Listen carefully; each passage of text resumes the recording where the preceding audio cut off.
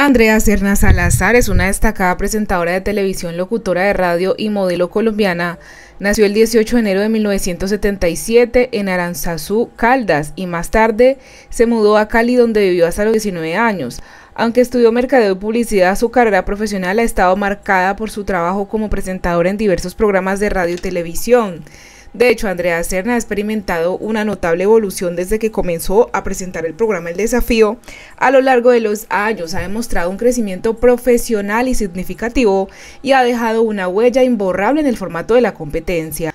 Por otro lado, Valeria de la Cruz, conocida como Beba, fue una participante que generó mucha controversia en el desafío 20 años, desde que comenzó el programa mostrando una personalidad fuerte y chocó con sus compañeros y rivales hasta llegar a confrontarse con Andrea Serna por faltarle respeto a la producción del programa.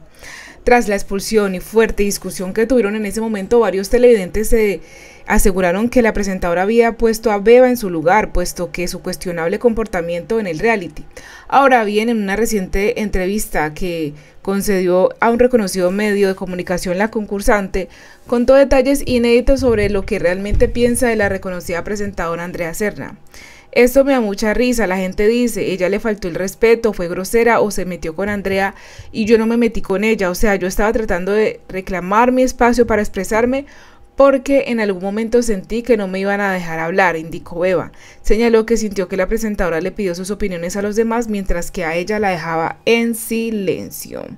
¿Qué opinan ustedes de esto? Déjenmelo saber en los comentarios.